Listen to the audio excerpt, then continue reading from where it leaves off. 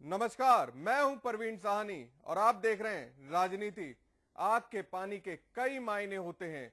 आग के पानी का सूखना और आग में पानी का आना दोनों के अपने मायने हैं। लेकिन ये पानी अगर किसी नेता की आग का है तो बात जरा अलग है। अगर वो नेता देश का प्रधानमंत्री है तो आँसू की अहमियत और बढ़ जाती है। मुद्दे बदल जाते हैं, माहौल बदल जाता है। सियासी आँसू सहानुभूति का सैलाब ला सकते हैं। आग से गिरते आँसू सियासत को उठा सकते हैं और बिना बोले आँसू वो कर जाते हैं जो शायद हज़ार शब्द ना कर पाए। पीएम मोदी ने सांसदों की सभा में आग के आंसुओं से बहुत कुछ कह दिया। पीएम मोदी के आंसुओं से लबालब। देखिए रिपोर्ट। उन्होंने कहा, नरेंद्र भाई ने कृपा की। मजदूरी कर रहा। सब कुछ देश के लिए छोड़ा। घर में जीत के बाद घरेलू लोगों के सामने पीएम मोदी एक बार फिर भावुक हो गए। जीत का ज़िक्र करते हुए पीएम मोदी जज्बाती हो गए। इस दौरान गुजरात में पार्टी के संघर्ष के दिनों और अटल बिहारी वाजपेयी के कामकाज को याद करते हुए नरेंद्र मोदी कुछ देर के लिए भावुक हो गए। मोदी ने कहा कि एक वक्त इंदिरा गांधी की 18 राज्यों में सरकार थी, अब हमारी 19 राज्यों में अतीत में झांकते हुए पीएम तीन बार भावुक हुए। मोदी ने बताया कि अटल जी ने कैसे युवाओं में नई जान फूकी थी। उन्होंने मुझे लोकसभा चुनाव की ज़िम्मेदारी सौंपी।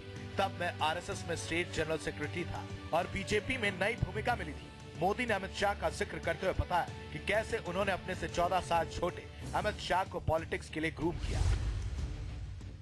ये एक ऐसा क्षण था, कोई भी आदमी भावुक होगा। प्रधानमंत्री कोई वंशवाद के से उपजे हुए लोग नहीं हैं, बड़े घर में नहीं पैदा लिए। वो गरीब घर में पैदा लिए और देश के लिए अपने आप को समर्पित किए आरएसएस के एक स्वयंसेवक के नाते, प्रचारक के नाते। उन्हीं क्षणों को याद करके आज सब लोगों को तकलीफ़ है कि आज अगर वाजपेयी जी होते तो शायद आज वाजपेयी जी ज़्यादा भावुक होते। मैं तो यही समझता हूँ, प्रधानमंत्री को भी यही लगा था। कि आज वाजपेयी होते, क्योंकि 20 सीट जीतने के बाद वाजपेयी भावुक इस दुनिया में आंसुओं की बड़ी अहमियत है, और भावना प्रधान भारत में तो आँसू तस्वीर बदलने की ताकत रखते हैं। और सियासत कहाँ अछूती है आंसुओं से? आग के पानी को लेकर बड़ा विरोधाभास है यहाँ। आँसू गिरता है और गिराने वाला उठता है।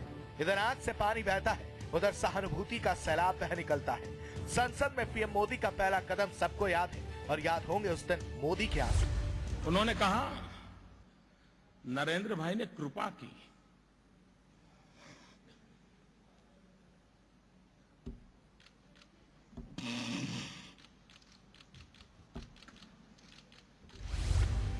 आँसू आँखों से बहे और मोती बन कर निकले। मान बढ़ा, सम्मान बढ़ा और ताज तो मिल ही चुका था। सहानुभूति का शराब भी साथ में जुड़ गया। बात यहीं तक नहीं थी। मई 2014 के बाद से कई दौर आए और पीएम ने भी कई मौकों पर आँसू बहाए। देश ही नहीं विदेश में भी। सितंबर 2015 में अमेरिका यात्रा के दौरान जब मोदी फेसबुक हेडक्वार्टर में माँ का ज़िक्र करते हुए भावुक हो गए। बर्तन साफ़ करना। Clean the पानी dishes, fill water.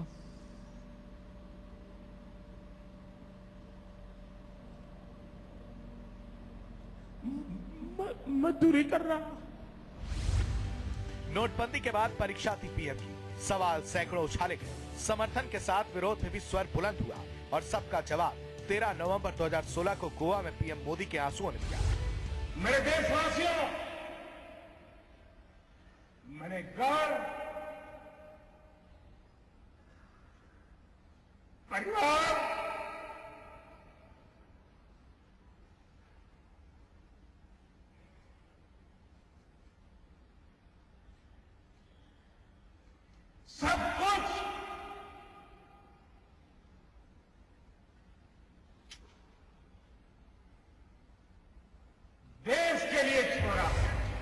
जनवरी 2016 में बाबा साहेब भीमराव अंबेडकर यूनिवर्सिटी के दीक्षांत समारोह के दौरान छात्र रोहित वेमुला की मौत का ज़िक्र करते वक्त भी मोदी भावुक हो गए थे। नवंबर 2015 में संसद में संविधान पर चर्चा के दौरान भी मोदी भावुक हुए थे। बाबा साहेब अंबेडकर का ज़िक्र करते वक्त उनकी आँखें भर आई थी। मई 2015 में प्रधानमंत्री बनने के बाद मोदी बंगाल दौरे के समय पहली बार बेलूर मठ गए थे। वहाँ जब उनके लिए स्वामी विवेकानंद का कमरा खोला गया तो वे भावुक हो उठे थे। मई 2014 में प्रधानमंत्री बनने से पहले मोदी के लिए गुजरात विधानसभा में विशेष सत्र रखा गया था। जब विपक्ष के नेता उन्हें शुभकामनाएँ दे रहे थे तब मोदी भावुक हो गए थे।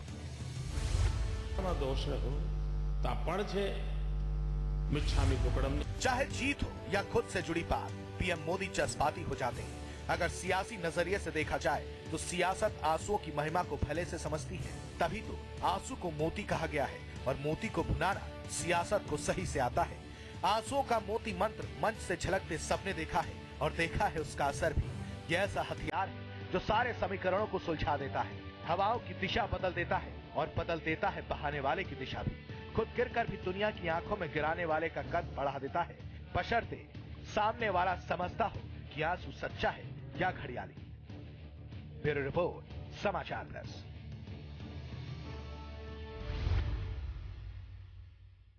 देर हुई आने में तुमको, शुक्र है, फिर भी आए तो। ये शब्द है दिल्ली से सटे शहर, नोएडा के, और ये शब्द हैं सूबे के मुखिया के लिए।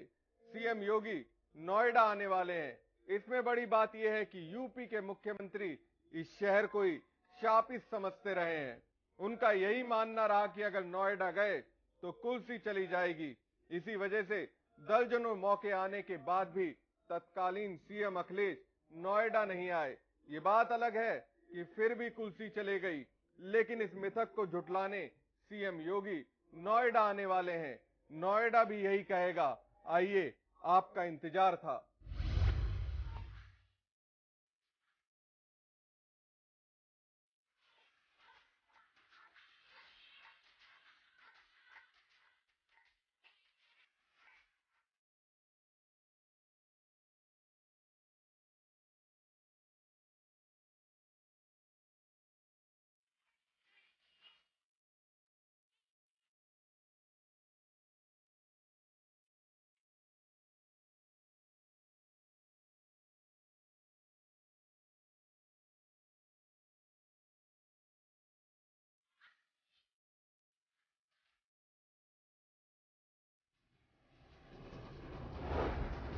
नोएडा की बदनसीबी मिटाएँगे योगी। छह साल बाद शहर में पड़ेंगे सीएम के कदम।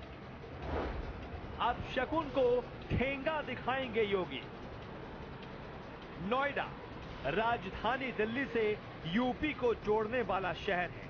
ये वो शहर है जो सूबे को सबसे ज़्यादा रेवेन्यू देता है, लेकिन बदले में इसे सीएम के दर्शन तक नहीं होते। आखिरी बार मायावती आई थी। लेकिन उसके बाद उनकी सरकार ही नहीं आई। 2012 विधानसभा चुनाव से पहले इसी शहर की सड़कों पर अखिलेश यादव साइकिल चलाते नज़र आते थे। लेकिन सीएम बनने के बाद ऐसा मुँह फेरा कि अखिलेश कभी लौट कर नहीं आए। कई मंच मिले, कई मौके आए, लेकिन मुख्यमंत्री नहीं आए। नोएडा अखिलेश का पाँच सालों तक इंतज़ार करता रहा। सरकार तो चली गई, लेकिन अखिलेश नहीं आए। अब योगी नोएडा का इंतज़ार खत्म करेंगे। योगी आदित्यनाथ अब शकुन को ठेंगा दिखाते हुए नोएडा में पीएम मोदी की अगुवानी करेंगे। क्या सत्ता के लिए शापित है नोएडा शहर? क्यों नहीं पड़ते यहाँ मुख्यमंत्री के कदम? ये शहर प्रदेश के मुखिया के लिए बेगाना ही रहा। नोएडा खुद नहीं जानता कि उसके माथे ये कलंक कैसे लगा। लेकिन ये ज़रूर जानता है कि पूरे कार्यकाल में क्लेश यहाँ एक बार भी नहीं आए। नोएडा, ग्रेटर नोएडा के विकास के लिए काफ़ी वायदे किए। कई योजनाएँ भी शुरू कराई। Underpass, elevated road, cycle track से लेकर मेट्रो तक, सब कुछ लखनऊ से ही हो गया। दो बार प्रधानमंत्री मोदी नोएडा आए, लेकिन तत्कालीन सीएम अखिलेश नहीं आए। अगस्त 2012 में तत्कालीन सीएम अखिलेश ने लखनऊ से ही यमुना एक्सप्रेसवे का उद्घाटन किया। 30 नवंबर 2016 को बाबा रामदेव के फ़ूड पार्क का शिलान्यास लखनऊ से किया। दादरी कांड के बाद अखलाक के परिजनों से भी लखनऊ आवास पर ही मुलाकात की। तत्कालीन राष्ट्रपति प्रणब मुखर्जी तीन बार नोएडा आए, लेकिन अखिलेश ने प्रोटोकॉल को नजरअंदाज किया। गाजियाबाद आने के बाद भी तत्कालीन सीएम अखिलेश ने नोएडा आने से मना कर दिया। इसे टोटका कहें या अपशकुन या फिर अंधविश्वास। लेकिन एक बात ज़रूर दिमाग में घर कर गई है कि जो भी सीएम नोएडा आता है, वो सीएम नहीं रहता। पूर्व की कुछ घटनाओं से इस सोच को और पुख्ता और बल मिलता है। सत्ता जाने के पीछे जनता का वोट था या फिर नोएडा का दौरा। लेकिन सियासत के दिमाग में ये बात ज़रूर बैठ गई है। लेकिन इस बार अखिलेश नोएडा नहीं आए, फिर भी सत्ता में वापस नहीं आए। 1988 में तत्कालीन सीएम वीर बहादुर सिंह नोएडा में कालिंदी कुंज का उद्घाटन करने आए। नोएडा आने के तुरंत बाद उनकी सरकार ही गिर गई। उन्नीस में तत्कालीन सीएम एनडी तिवारी पार्क का उद्घाटन करने नोएडा सेक्टर 11 आए। इसके तुरंत बाद एनडी तिवारी सरकार गिर गई। इस टोटके पर लोगों का ध्यान तब गया। जब उन्नीस में तत्कालीन सीएम मुलायम सिंह नोएडा आए थे कुछ समय बाद उनको कुर्सी छोड़नी पड़ी। उसके बाद तो जैसे ये बात पुख्ता ही हो गई। सितंबर 1999 में तत्कालीन सीएम कल्याण सिंह एक कार्यक्रम में नोएडा आए। दो महीने बाद ही कल्याण सिंह की कुर्सी चली गई। कल्याण सिंह के बाद रामप्रकाश गुप्ता यूपी के मुख्यमंत्री बने। 2000 में कुर्सी छोड़ने से पहले वो भी एक कार्यक्रम में नोएडा आए थे। इसके बाद मुख्यमंत्री बने राजनाथ सिंह ने। शायद इस बात को भाप लिया था। अपने दो साल के कार्यकाल में राजनाथ सिंह ने भी एक बार भी नोएडा का रुख नहीं किया। डीएनडी का उद्घाटन भी राजनाथ ने दिल्ली से ही किया। 2004 में मुलायम सिंह यादव एक स्कूल के उद्घाटन के लिए नोएडा आए। उसके बाद मुलायम सिंह दोबारा मुख्यमंत्री नहीं बन पाए। 2011 में दलित प्रेरणा स्थल का उद्घाटन करने मायावती नोएडा आई। 2012 चुनाव में उनकी भी सत्ता चली गई। इसे इत्तेफाक कहें या कुछ और, लेकिन हिंदुस्तान में यह आश्चर्य की बात नहीं है। यहाँ पहले से ही कितने अंधविश्वास और कुरीतियाँ कायम हैं। लाख कोशिशों के बाद भी समाज उससे उबर नहीं पा रहा।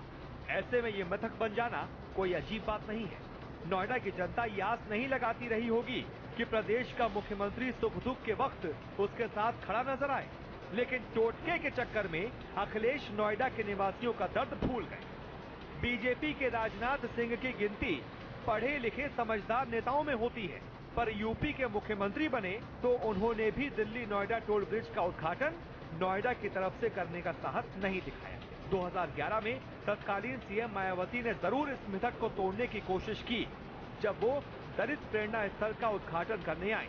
बाकी चुनाव में हार जीत तो जनता तय करती है न कि किसी शहर में आना जाना। अगर ऐसा है तो क्या नोएडा न आने से किसी सीएम की कुर्सी चिरस्थायी हो जाएगी? लेकिन अखिलेश का उदाहरण सामने है। अब सीएम योगी नोएडा मेट्रो उद्घाटन के साथ इस मिथक को तोड़ने आ रहे हैं। ये नोएडा शहर के लिए बेहद खुशी की बात है।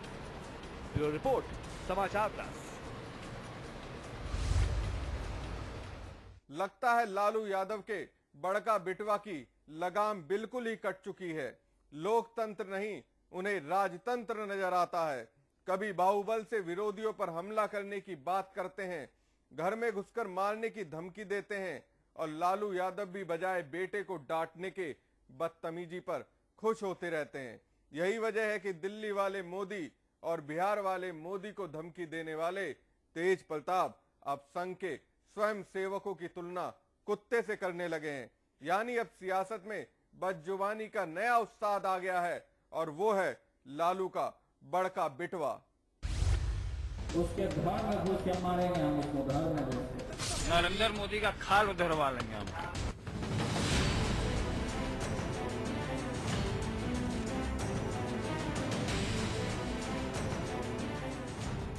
पिता के प्रताप से सत्ता का स्वाद क्या चखा? बड़का बिटवा बिगड़ गया। और इतना बिगड़ा कि लाल लिहाज सब भूल गया। शब्दों से सुर्खियों में रहने का ऐसा शौक चढ़ कि लालू का लाल बातों से बवाल काट रहा था। क्या दिल्ली वाले मोदी, क्या बिहार वाले और क्या दूसरे विरोधी सबको एक ही लाठी से हाँक रहा है राबड़ी नगर अब तो एक कुत्ते को संघ का सिपाही करार दे दिया। देखो आरएसएस का एगो सिपाही घुस गया बाहर करो उसको आरएसएस का एगो सिपाही दौड़ा दौड़ा पकड़ो पकड़ो उसको पकड़ो। दरअसल तेज प्रताप एक जनसभा को संबोधित कर रहे थे कि अचानक कुत्ते की एंट्री हो गई। कुत्ते को देख उसकी तरफ़ इशारा करते हुए तेज प्रताप ने कहा कि आरएसएस के सिपाही को मैदान से बाहर निकाले। मैदान में कैसे आ गया? आरएसएस का सिपाही पकड़ो पकड़ो। देखो आरएसएस का सिपाही घुस गया बाहर करो उसको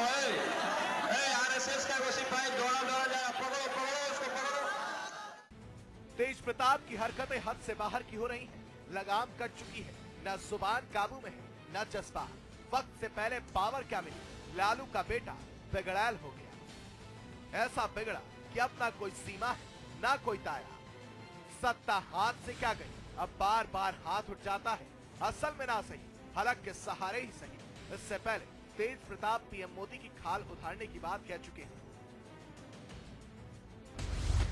सुरक्षा जो वापस लिया है आज दिन देख ली कि हम लोग का कार्यक्रम लगा हुआ है और लालू प्रसाद यादव जी भी जाते रहते हैं कार्यक्रमों में। तो ये मर्डर कराने की साजिश रची जा रही है। उनको मुँह तोड़ जवाब हम देंगे। नरेंद्र मोदी जी का खाल उधरवा लेंगे। आपको नहीं लगता कि केंद्र सरकार नरेंद्र मोदी का खाल उधरवा लेंगे हम। लालटेन में कितना तेज बचा है, ये तो वक्त बताएगा, लेकिन बाती ज़रूर फड़फड़ा रही है।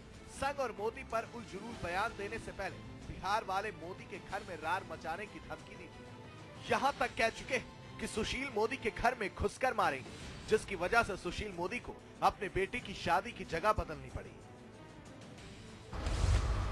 लड़का का बियाह है, उत्तर से मोदी का।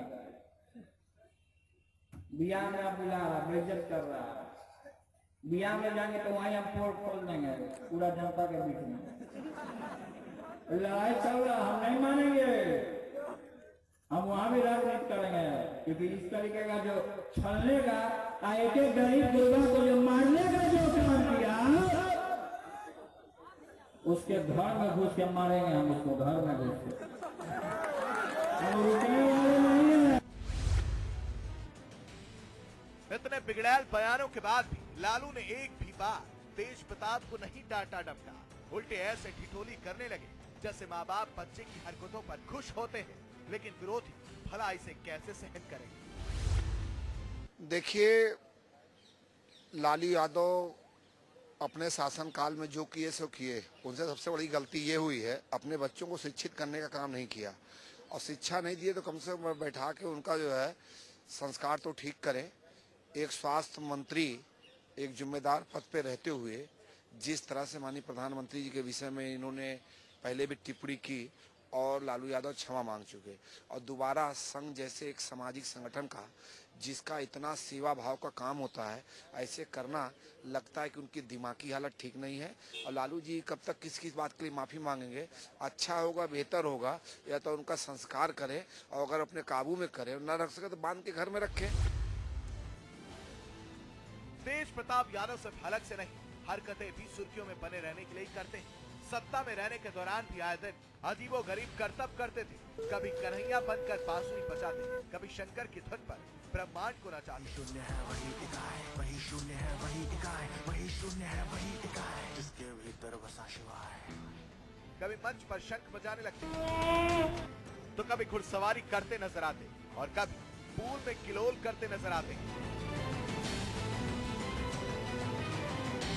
और अब सत्ता गई तो ज़ुबान चलने लगी। है लगता है, लगाम बिल्कुल ही कट गई। है यानी लालू का बड़का बेटवा बिगड़ गया। फिर रिपोर्ट, समाचार।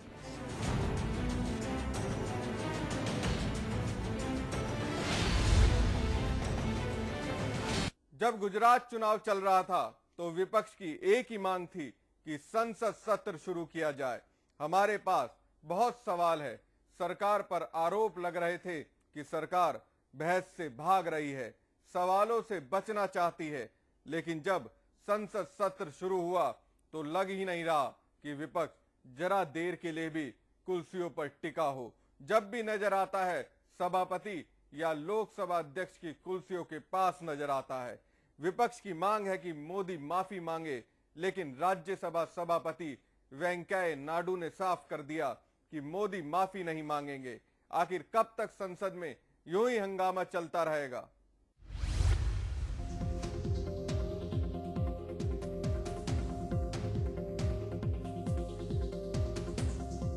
हिमाचल और गुजरात गुजर गया, लेकिन संसद में सियासी संग्राम जारी है। विपक्ष पीएम मोदी से माफ़ी मंगवाने पर अड़ा है। इसे लेकर सदन में गतिरोध बरकरार है। आपको बता दें कि पीएम मोदी ने गुजरात विधानसभा चुनाव में प्रचार के दौरान पाकिस्तान की साजिश का इशारा किया था और इसे लेकर पूर्व प्रधानमंत्री मनमोहन सिंह पर सवाल उठाए थे। अब विपक्ष संसद सत्र शुरू होने के बाद से ही माफ़ी की मांग पर अड़ा है। संसद में शीतकालीन सत्र के चौथे दिन बुधवार को भी पीएम नरेंद्र मोदी से माफ़ी का मुद्दा छाया रहा। इस मामले पर दोनों सदनों की कार्यवाही बाधित हुई।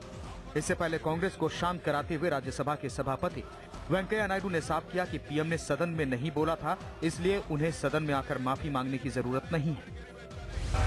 Nobody is going to, nobody is going to, going to give apology. Nothing happened in this house. No statement is made in this house. So there is no practice of uh, suspending the question hour. Please go back to your seats. Don't make a mockery of the house. Already wrong message is going.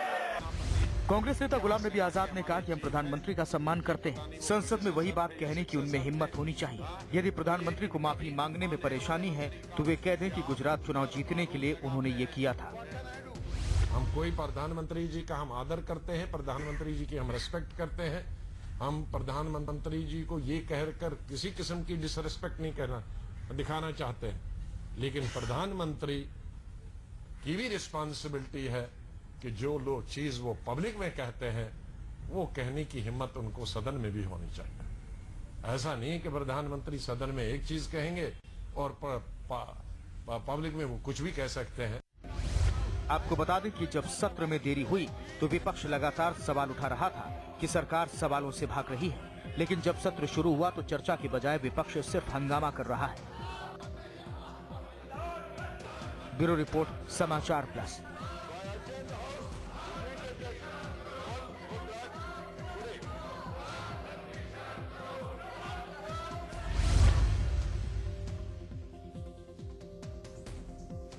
वो तो भला हो कि देश में film देखना अपराध नहीं है, वरना राहुल गांधी का पता नहीं क्या होता। कांग्रेस हिमाचल और गुजरात में हार गई और राहुल गांधी उस दिन फ़िल्म देखने चले गए।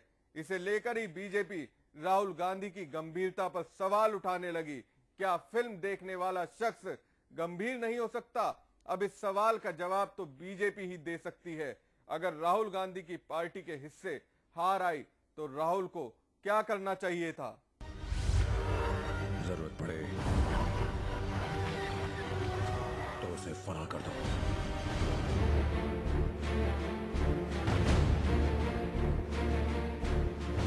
18 दिसंबर की शाम कांग्रेस की हार की गवाही दे रही थी। गुजरात में जीत नहीं पाए और हिमाचल हाथ से निकल गया।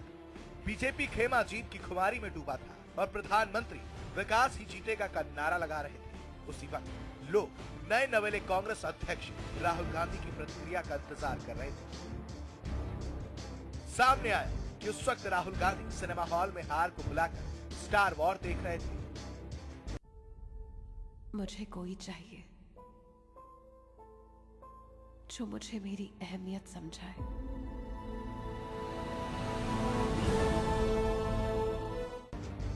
बस फिर क्या? इसी पर सियासी घमासान मच गया। बीजेपी को राहुल गांधी का फ़िल्म देखना जाना हजम नहीं और पार्टी राहुल की गंभीरता पर सवाल उठा मज़ाक उड़ाने लगे। सोशल मीडिया पर बीजेपी आईटी सेल के हेड अमित मालवीय ने ट्वीट कर लिखा कितने गंभीर है राहुल गांधी, राजनीति को लेकर। गुजरात में कांग्रेस के हारने के बाद जब उन्हें मीडिया और अपने कैडर से बात करनी चाहिए, वो फ़िल्म देख रहे थे। बिल्कुल 26 ग्यारह के बाद पार्टी करने की तरह। जनता से किए वादों के ऊपर निजी अवकाश को तरजीह। जवाब देते हुए कांग्रेस प्रवक्ता रणदीप सुरजेवाला राहुल के बचाव में सामने आए। उन्होंने ट्वीट कर कहा था कि प्यारे भक्त चैनल, आपकी सूचना के लिए राहुल गांधी किसी अन्य भारतीय की तरह ही अपना जीवन जीते हैं, वो फ़िल्में भी देखते हैं। सपा नेता और राज्यसभा सांसद नरेश अग्रवाल ने बीजेपी पर चुटकी ली और कहा कि बीजेपी इतनी छोटी सोच क्यों रखती है? अगर उस दिन किसी की सुहागरात होती तो कहते कि सुहागरात क्यों मना रहे हैं? मैं नहीं समझ पा रहा बीजेपी वालों की सोच इतनी छोटी क्यों है मानसिकता इतनी छोटी क्यों है? व्यक्तिगत लाइफ में कौन क्या कर रहा है? अब अगर उस दिन देश में कोई सुहागरात मना रहा होगा तो ये कह देंगे सुहागरात क्यों मना रहा है? सोशल मीडिया पर भी जमकर ट्विटर वॉर हुआ। सैम सेज नाम के एक हैंडल ने तंज कसा कि फ़िल्म के दौरान राहुल गांधी राष्ट्रगान के लिए खड़े हुए। उन्होंने पॉपकॉर्न खाए या नेचोस बाथरूम कितनी बार गए?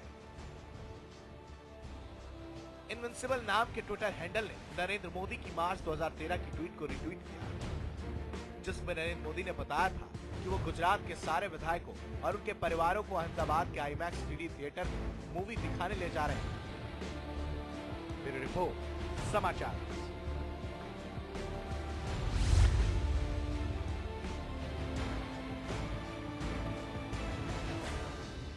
राहुल गांधी भले हार के बाद समीक्षा की बजाय फ़िल्म देखने चले गए हों, लेकिन दूसरे नेता ज़रूर कारणों पर मंथन कर रहे हैं। कांग्रेस में अंदर खाने से ही आवाज़ उठने लगी है। वरिष्ठ कांग्रेस नेता वीरप्पा मोइली ने तो कपिल सिब्बल और मणिशंकर अय्यर को इसके लिए जिम्मेदार ठहरा दिया है।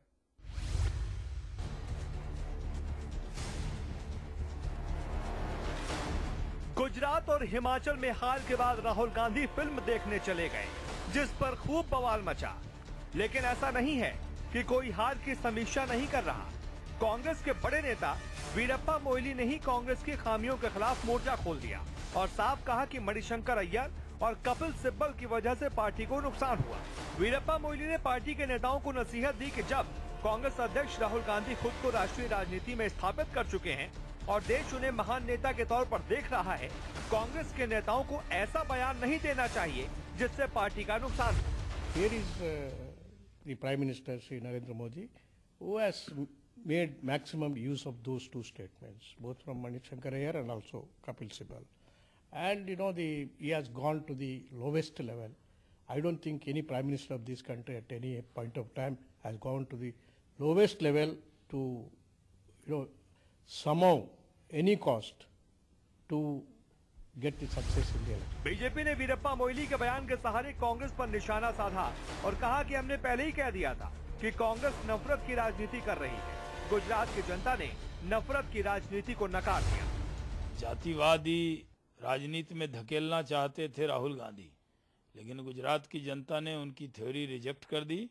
उनके लिए आत्मचिंतन का समय है। कि आखिर आप किस नफरत की राजनीति की शुरुआत करना चाहते थे? गुजरात की जनता ने भारतीय जनता पार्टी को फिर से पाँच साल के लिए सेवा का अवसर दिया है। आपको बता दें, गुजरात के चुनावी घमासान के बीच में कांग्रेस के वरिष्ठ नेता मणिशंकर अय्यर ने पीएम मोदी को नीच कह दिया था। मणिशंकर के इसी बयान को पीएम मोदी ने चुनाव के मैदान में खूब उछाला था और इसे गुजरात का अपमान बताया था। Bureau report, Samachar plus. अगर आतंकी सत्ता में साझीदार बन जाए तो माथे पर बल पड़ेगा ही। हिंदुस्तान का दुश्मन पाकिस्तान में चुनाव लड़ने की तैयारी में है, जिसके बाद डोनाल्ड ट्रंप की टेंशन बढ़ गई है। बताया जा रहा है कि हाफिज सईद 2018 में होने वाले आम चुनाव में भाग ले सकता है। आतंकी की नेतागिरी से टेंशन में ट्रंप। हाफिज के चुनाव लड़ने की खबरों से चिंता में अमेरिका। आज जो आतंकी दुनिया को डराने के मंसूबे पाले, अगर उसके हाथ में सत्ता होगी तो सोचिए क्या होगा।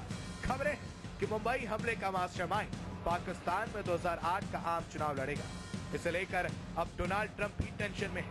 अमेरिकी विदेश मंत्रालय की प्रवक्ता हीदर नॉर्ट ने कहा कि नजरबंद किए गए हाफिज को नवंबर में ही पाकिस्तान ने रिहा किया है। जिस पर अमेरिका आपत्ति जता चुका है, वो छब्बीस ग्यारह मुंबई हमलों का मास्टरमाइंड है। उन्होंने कहा कि हम जमात उत्तावा को आतंकी संगठन मानते हैं। अब जानकारी मिली है कि वो पार्टी बना रहा है और चुनाव लड़ेगा।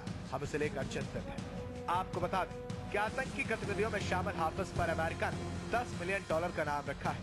पाकिस्तान ने चौबीस नवंबर को उसे रिहा किया था। यूएन और यूएस ने भी उसे आतंकी घोषित किया हुआ है। Report, Samachar plus. राजनीति में आज बस इतना ही, लेकिन सियासी हलकों से जुड़ी हर खबर के लिए देखना ना भूलिए राजनीति नमस्कार।